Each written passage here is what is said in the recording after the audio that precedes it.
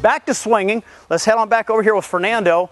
Fernando, I want you to hop up this time, and we're not even going to swing yet. I just want you to shift your weight back and forth from one bar to the next. I want the athlete to familiarize himself with how the bars are going to feel when they move. So almost like you're on pommel horse instead of parallel bars, side to side, pick up one hand, then the other a little bit.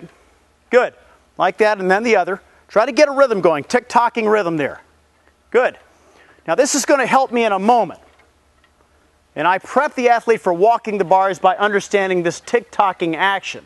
Now the one thing that Fernando is not doing that I would like for him to do a little bit more of, focus the end of the bars. And I will constantly remind an athlete to keep his eyes focused on the end of the bars. That's good. Just like that. Hop on down. And that's pretty typical, actually. That's pretty typical of what you'll see in a normal recreational class. The one thing that he does without uh, mentioning is he, he tends to keep his arms very straight. Uh, a younger, uh, less prepared athlete will generally bend his elbows more and may or may not actually be able to keep them straight.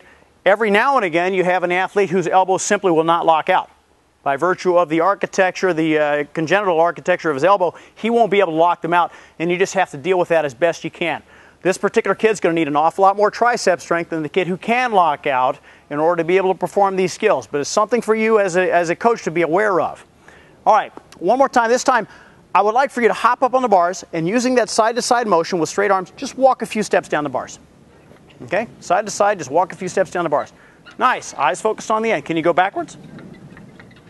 That's good. Elbows straight, watching the end of the bars. Very nice, and hop on down. We'll spend a lot of time just doing very basic parallel bar walking back and forth like that. Once again, all of this activity is good for strengthening the shoulder girdle. It's all good for familiarization and repetition of making sure that the visual cues are correct before we start into any real swinging whatsoever.